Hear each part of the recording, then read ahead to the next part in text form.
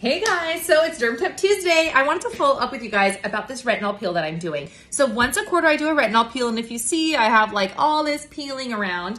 Um, so typically what happens is you do it once every three months and what that does is it's really great for anti-aging. It just helps take like a layer of cellophane off, super easy, um, performed here in the office. We first do like a salicylic glycolic um, peel and then we put on a higher dose retinol over it. And then you can expect to look great for a couple of days after the treatment as if nothing has happened.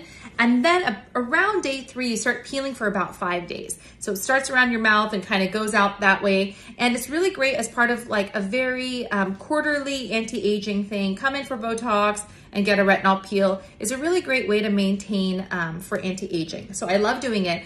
And as it relates for patients with acne, I love doing it for patients with acne, usually about once a month for a few months. And what that does is it helps like really unclog those, uh, those clogged pores and shrink the oil glands back down to normal size, which is the science of why patients with acne get acne. Their oil glands get too big and retinol peels can definitely help.